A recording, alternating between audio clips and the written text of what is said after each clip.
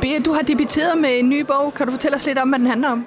Ja, Undladelsesønden, det er egentlig sådan en, en skæbne roman, sat op med så et øh, uh, thriller-aspekt. Øh, uh, det handler om en ungt uh, ægtepar, som mister deres uh, treårige datter i en trafikulykke. Og så ruller den derfra. Uh, der er selvfølgelig nogle ting ved den trafikulykke, og det skal man så læse videre om i bogen. Og så handler den om undladelsessynder, som uh, titlen også uh, fremgår af undladelsessynder af de her små eller større ting, som vi øh, måske burde have gjort, burde have sagt, men som ikke rigtig gør, for, fordi det er ubehageligt eller ubelejligt, øh, som man måske skulle gøre en anden dag øh, og, og aldrig få gjort. Mm. Så det er sådan det underliggende tema.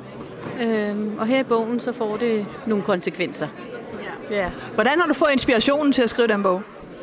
Jamen, øh, jeg har noget nogle episoder i min omgangskreds og i min familie, kan man sige, hvor jeg tænkte, hmm, hvor der egentlig måske var nogle undladelsessynder på, på spil.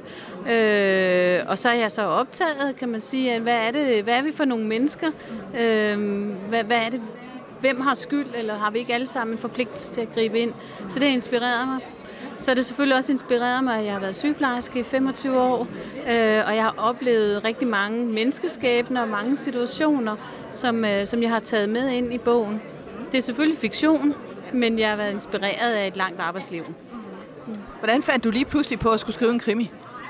Jamen, det er noget, der har gået luret nogle år, øh, og jeg gik sådan og, og digtede historier, når jeg var ude at gå øh, ture med min hund, og, og de historier begyndte jeg så at skrive ned.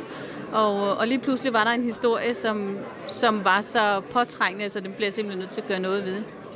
Øhm, og så har jeg så øh, gået på skriveskole og, og prøvet at forfine lidt det der med at skrive, og fået god hjælp af forfatterskabet. Det er god til at, at komme videre i processen.